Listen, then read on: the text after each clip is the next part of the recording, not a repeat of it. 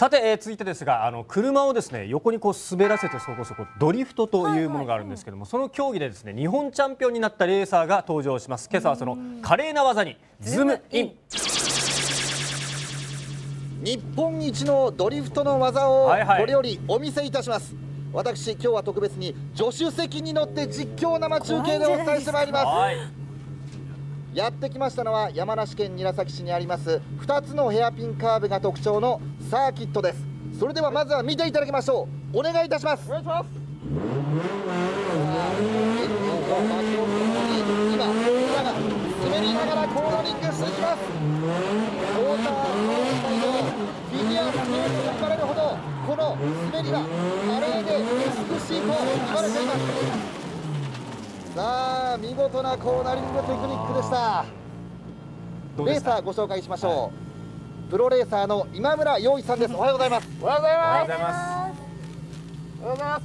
今村さんは、ドリフトの技を競うモータースポーツ D1 グランプリで史上初2度目のシリーズチャンピオンに輝きました。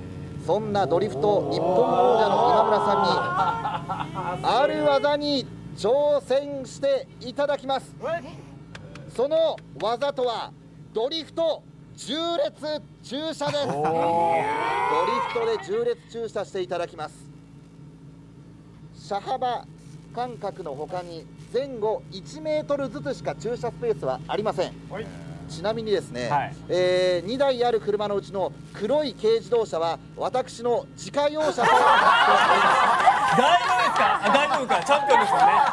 チャンピオンですもんね。いろんな意味で非常に不安なんですが大丈夫でしょうか？大丈夫です。そうです。よね信じます信じお願い。しますそれではチャンピオンですか今ら大丈村さんお願い。い。たしますチャンピオンでもちょっとぶつかると思うんですよ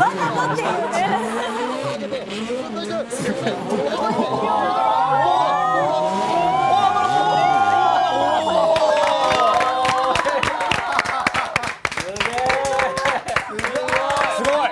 ドリフトテクニックいやーよかったです今村さんいかがですかいやまぐれに決まってよかったですね。いやー トークもいけますね。素晴らしいテクニックでしいた羽鳥さん西尾さんいかがですか？ん個人的に阪神でねまず良かったかもしれないですけどまあやっぱ技術いやがすごいです本当に良かねったです。えあのチャンピオンはチャンピオンあれですか？このドリフトだけじゃなくて普通のレースも普段もうずっと毎日レースやってるんですか？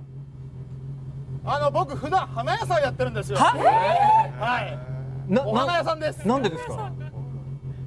はいお花屋さんですからねあの華麗なテクニックでやはりすごく繊細なブーケなんかも作っちゃうんですよね。そうです花嫁さんのねブーケとか作りますよ。そうなんですよ。趣味なんですか？もうーえお花屋さんは仕事なんですよね？ねお仕事？ですね本業ですね。本業がお花屋さんということなんです。はい。